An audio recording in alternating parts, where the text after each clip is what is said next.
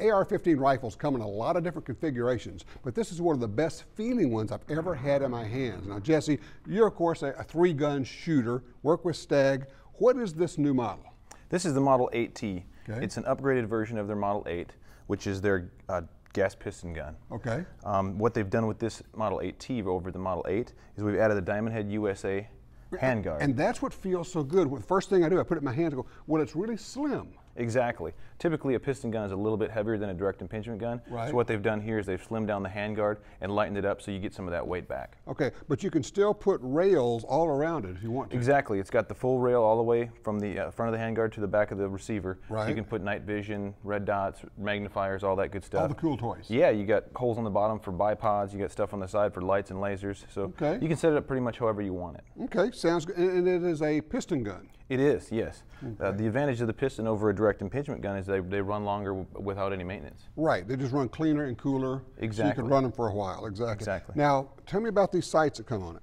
These sights are from Diamond Head USA as well. They're the uh, standard flip up, backup iron sight Right. type deals. And uh, what they have is they've Diamond Head USA is kind of specialized in all the different diamonds lining up. It basically allows your eyes to naturally do what they do. They want to align the peep sight in the rear with the post in the front.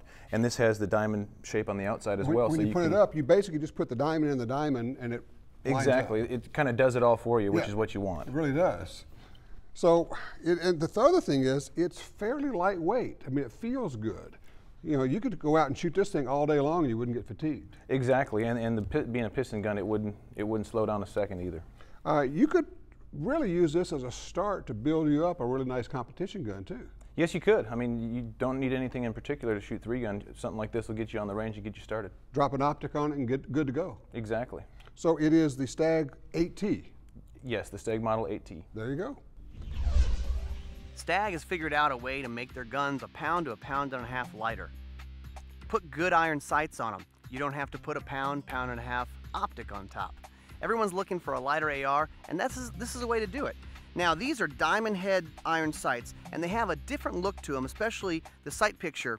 You have these guards on, on both the rear and uh, front sights, and they kind of line up together and help draw your eye in there. But if you learn how to use iron sights, zero to 100 or more yards, you really don't need an optic. And so you can keep your gun lightweight, simple to use, and frankly, it, it feels good in your hands because it's lightweight. So uh, let's shoot it and we'll show you what this looks like on target.